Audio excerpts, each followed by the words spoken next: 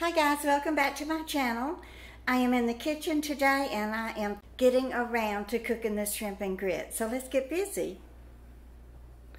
Now y'all, I have never cooked these before, nor have I ever eaten them. so uh, this is a very first for me and I am really excited about it and looking forward to it. So what we're going to do is start the grits. I'm going to cook them first and get them out of the way. So we need three cups of chicken broth.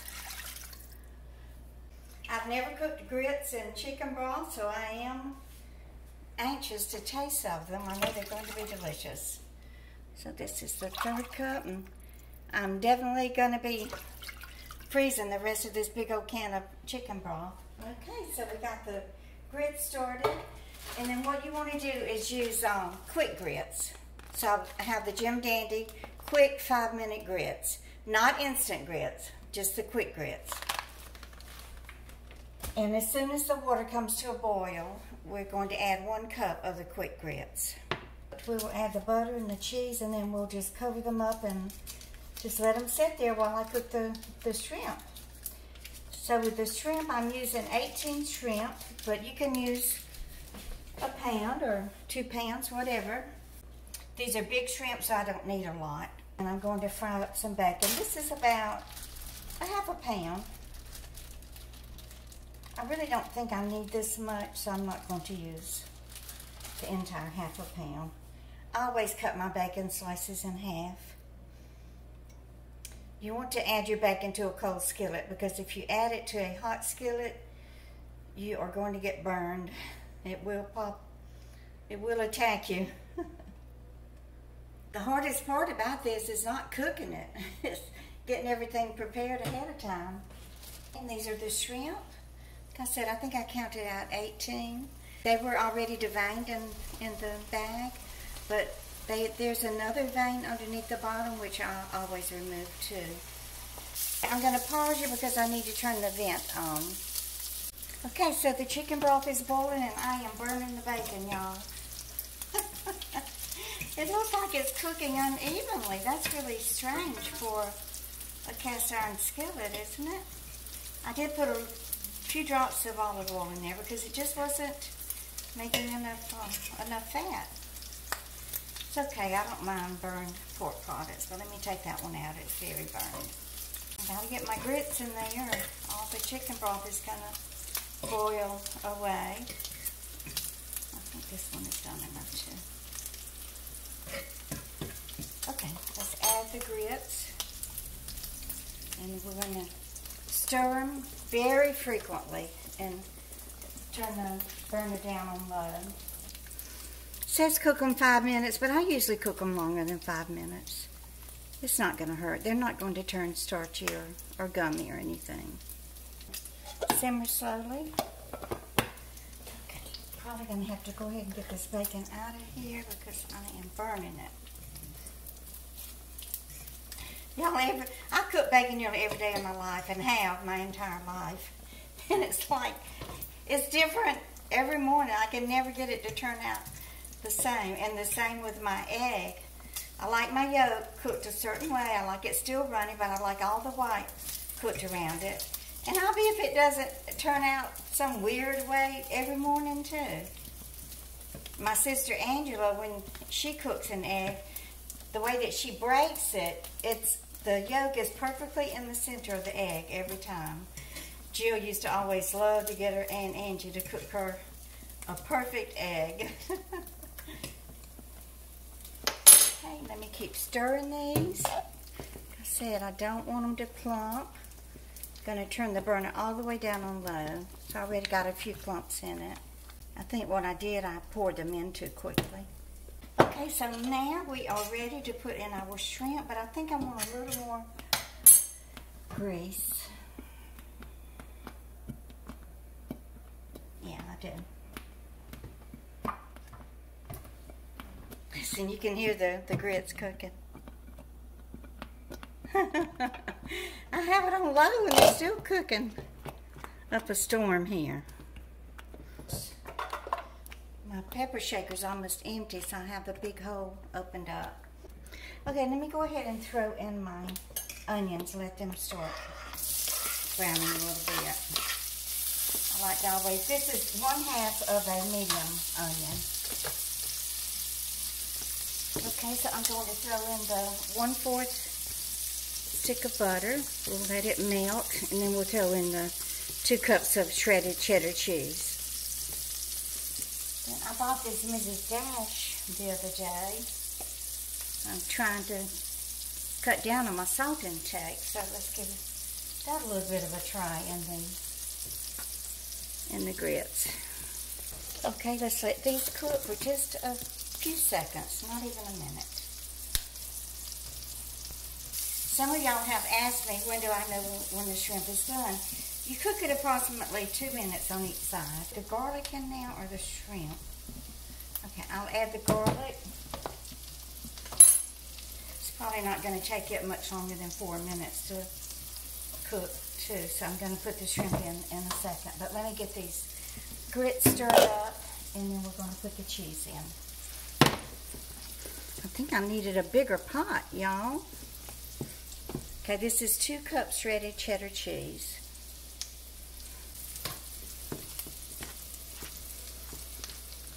You mainly just cover this now, just let it sit here and stay warm, I'm, I'm going to turn the burner off because I don't want them to get any thicker than they already are. Okay, let's get the shrimp into the skillet. Two, three, four, five. Okay.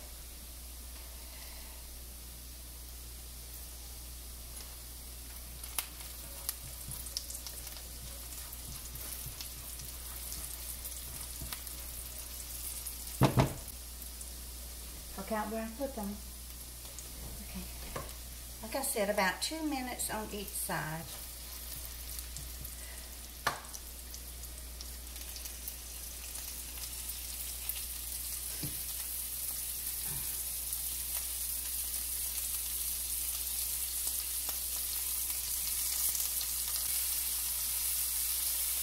These onions and garlic are going to season up this shrimp very nicely. So we got the garlic in there. I'm going to add um, the Cajun seasoning. This is the Tony Chachere's Cajun seasoning. It's a half a teaspoon. Get that shrimp seasoned up really good.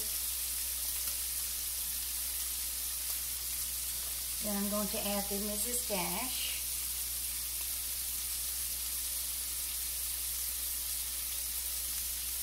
Just a half a teaspoon of that also. And then I forgot to get out a little paprika, but I think we'll add some paprika into it too. Okay, so the shrimp have cooked on one side for two minutes. So we're going to flip them over. Let them cook on the other side for two minutes.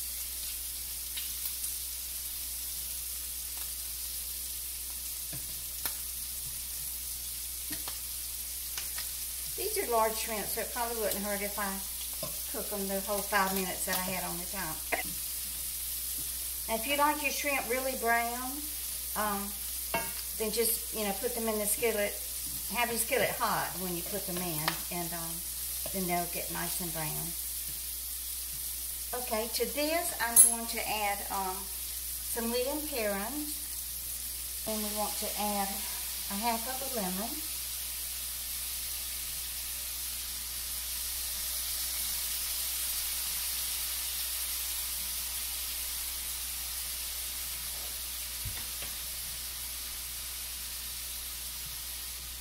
Is until the time is up. And we have all of our seasoning here for the, the grits. Mmm, sure smells good.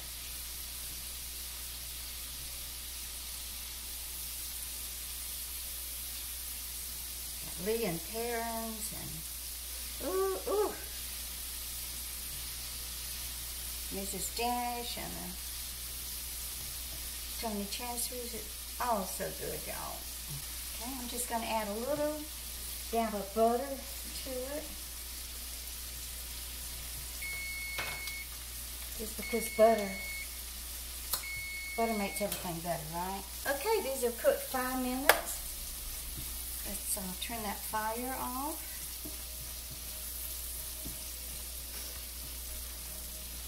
Don't these shrimp look good, y'all?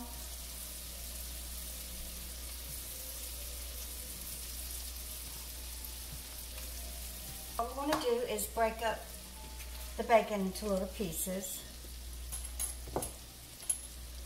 Then we will sprinkle this on top of the of grits. Y'all hear that ice cream truck? It's so annoying. But it's necessary. I mean, they have to alert the kids and the adults that they're on their way. They're here. The ice cream is here.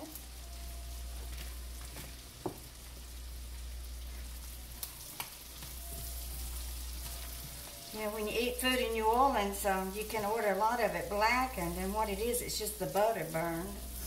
But it sure adds some delicious flavor to your food. Okay, these have really cooked longer than what I should have cooked them, but like I said, they're large shrimp, so I think they're, I don't think they're going to be gummy.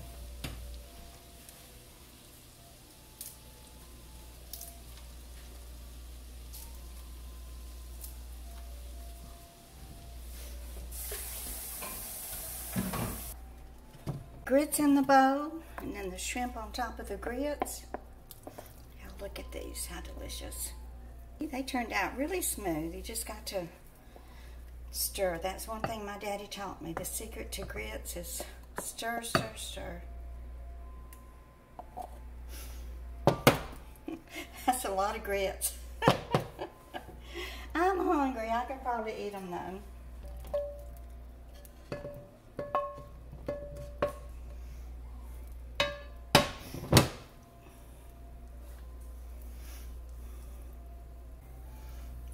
To sprinkle these on.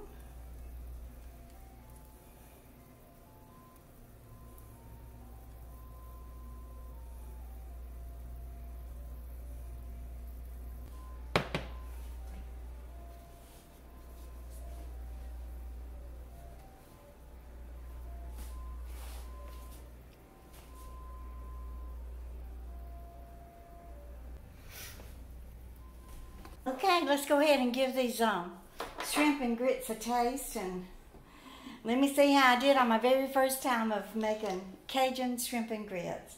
The bowl's kind of hot, so I'll have to wrap my rag around it to lift it. Here we go. Um, can't wait to taste them. They are hot.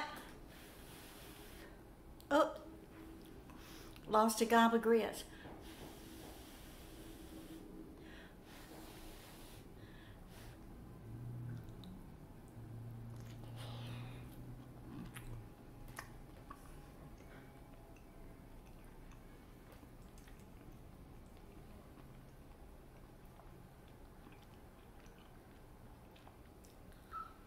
Mm.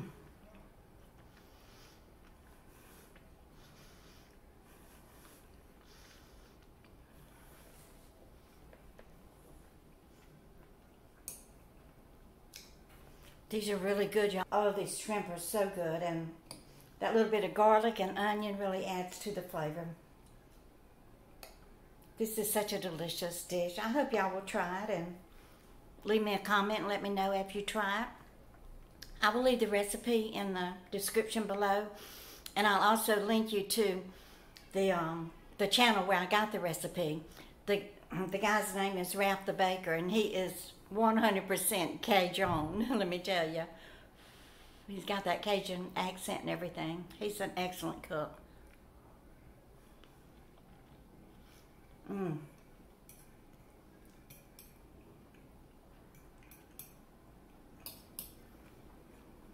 Okay. There's nothing else I can say about it. It's delicious, so um, let me swallow it. Y'all, please give me a thumbs up. It means a lot to me, and the more thumbs up I get, the more likes I get. If I get a thousand likes, then YouTube will um, suggest my video to more people. So y'all please give me a thumbs up and share if you know of anybody that you think would like this recipe. And please subscribe if you haven't done so already. and you just keep on coming back.